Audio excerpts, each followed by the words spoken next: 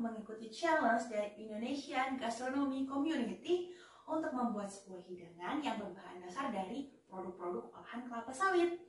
Dan hari ini saya akan membuat avocado chocolate Oke, langsung saja kita lihat bahan-bahannya ya. Untuk membuat dessert ini, kita membutuhkan tiga komponen utama.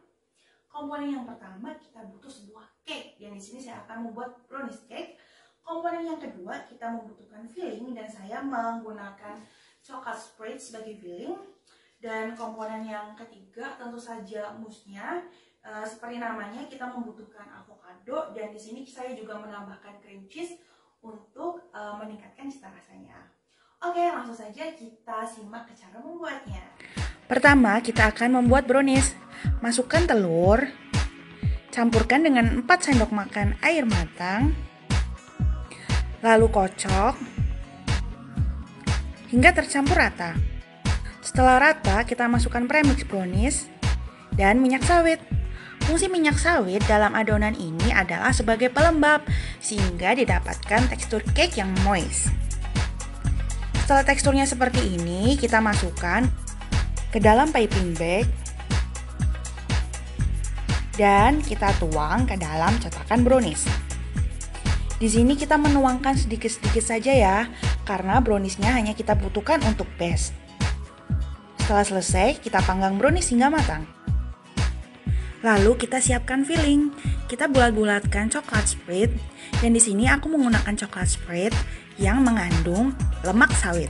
Fungsi dari lemak sawit dalam coklat ini adalah untuk melarutkan dan menghomogenkan coklat karena kokoa emas itu hanya larut dengan lemak.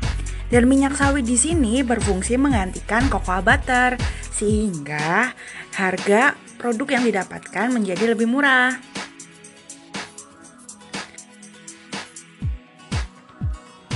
Untuk membuat mousse, kita kembangkan whipped cream.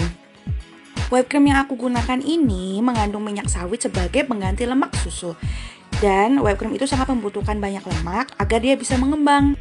Kita siram gelatin dengan air es agar dia blooming. Dan kita haluskan alpukat bersama gula halus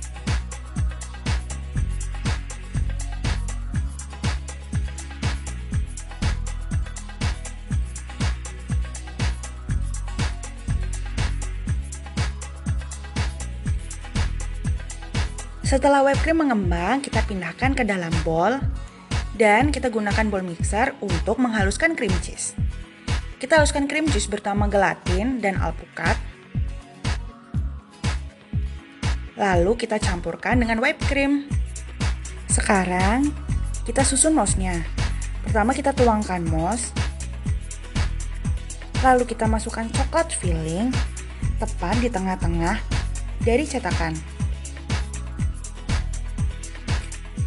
Kita tuangkan mousse lagi.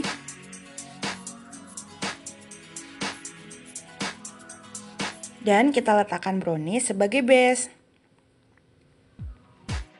Kita bekukan mouse. Setelah beku, kita glaze dengan coklat Miller glazing. Kita hias mouse menggunakan rice paper yang telah diwarnai dengan edible glitter berwarna gold.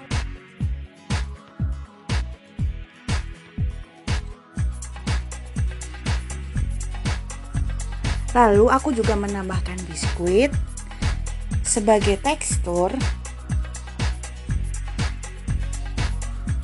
Dan inilah dia avocado choco mousse. Cantik bukan? Sekarang kita belah ya untuk melihat layernya. Kalian penasaran nggak? Penasaran nggak? Satu, dua, dan ti, ti, tiga. Yeay, bisa kita lihat tuh layernya. Ada avocado, coklat filling, dan paling bawah itu adalah brownies.